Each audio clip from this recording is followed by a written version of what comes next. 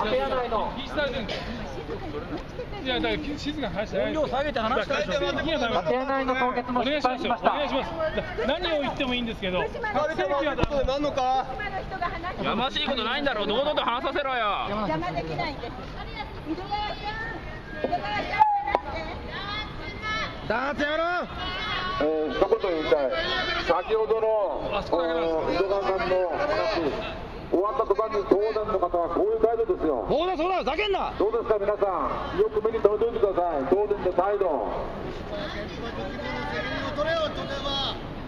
清水北斗さんもさ J リーグのサポーターに対してこういうことやんの？ねえ。日本サッカー協会とかさ J リーグのクラブチームの幹部に言うよ。こういうことやってるって。もっと手前まで私たちを近づけてください。そうだ？私たちを近づけさせないん。だったら私たちはメガホンで伝えるしかありません。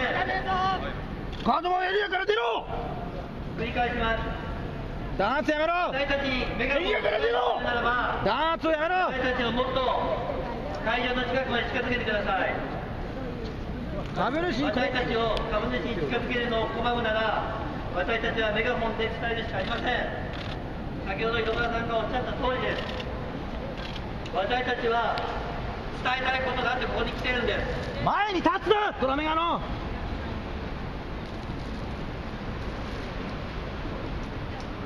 じゃあはっきり言いましょう。社長とか経営陣をここに連れてきてください。私たちの声を聞いてください。まだ総会始まりませんよね。だったら役員たちをここに連れてこい。ほら私たちの訴えを聞け経営陣ここまで来い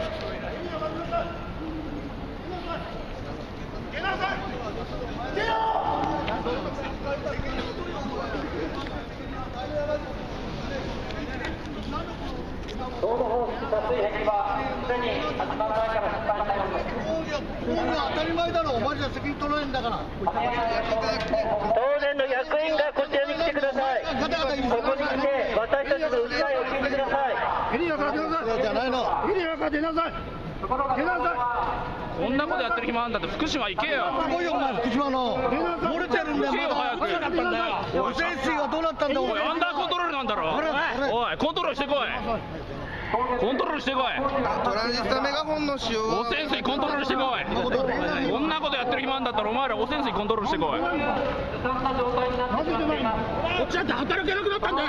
工場メラの下で出なさい。人たちは出なさい。よ大量の放射線を発するガレージのエリアの中外ではやらないエリアの中にいるからそういうこと起こるんだ大量のガレージをこの傾けて敷地内をきれいにしてから始めるのが大事でしょうしかし東電は人の被爆はどうでもいいのです現場のお金をかけない対策こそが彼らにとって最も重要なことでありスタッフだって隠それがそれがされていればおい名前を見せられないようなやましいことやってんのかお前らこの方針はやってるえーこの社員が言ってんだから間違いない役員をここに連れてきてください。社長会長を、そして私たちの声を聞いてください。そしたら私たち肉声でちゃんと伝えますよ。それができないんだったら、私たちを全てその会場の入り口のそばまで連れ周てきて、汚染水漏れがそこで私たち肉声で話します。実際にはそれができないんだったらば、私たちはこのメガホンで話すこのしかありません。特定率と言いながら私たちはずっといろんな方が被害に遭った話を聞い方の話を聞いてきました。